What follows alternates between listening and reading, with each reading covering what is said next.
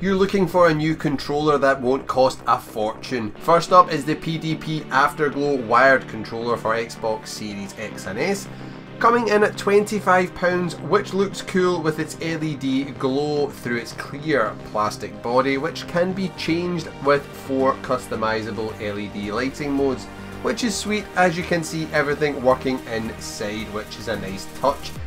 The downside of this see-through design is it's quite slippery and if you get sweaty palms during a tense gaming session this controller might not be ideal for you.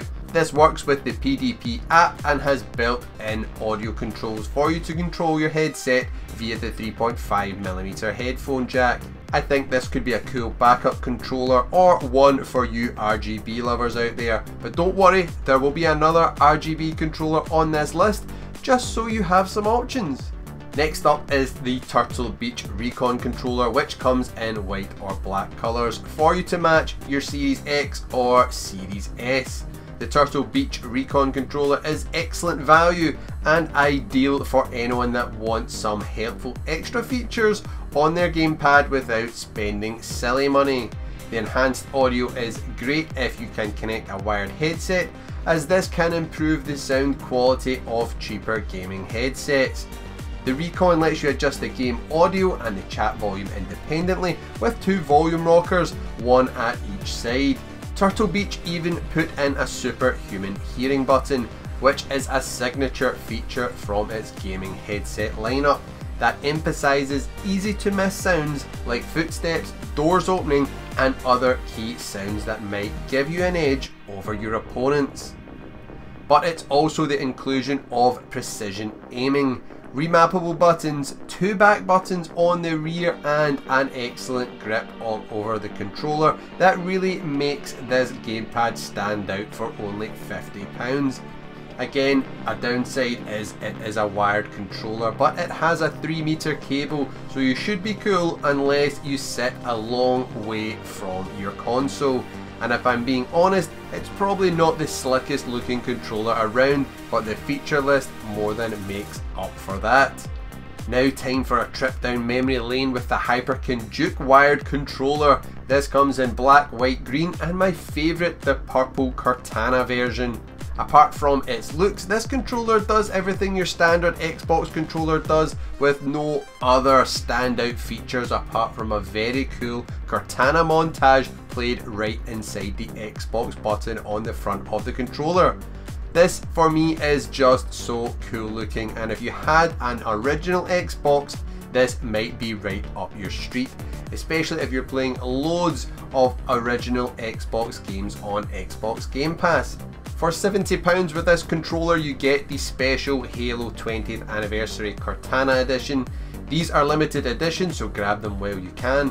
Precise analog triggers, a 3.5mm headphone jack, vibration feedback and a detachable Type-C cable. If you are looking for an affordable, customizable and comfortable controller, the 8BitDo Pro 2 wired controller for Xbox is great for gamers who love a stick layout that is more similar to a PlayStation controller or those playing 2D retro games who will appreciate the position of the D-pad on this controller. The Pro 2 certainly looks very sleek with the signature Xbox home button and every other input found on modern Xbox controllers, including the new share button packed into this minimalist looking controller. Where it differs is on the back panel. The Pro 2 has a pair of remappable back buttons, which I love, and the rest of the inputs can be customized as well using the included app for iOS or Android.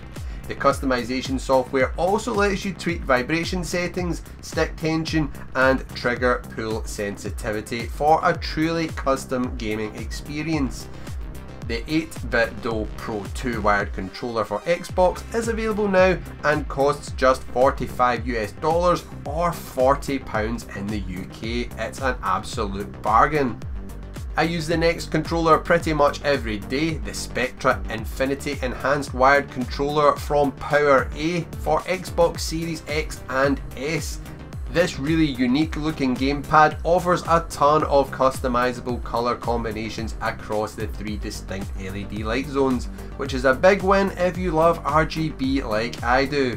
There's also the new share button on the front to easily capture your gaming wins or fails, a 3.5mm headphone jack with volume dial and a microphone mute button, which is super handy to be able to control right at your fingertips.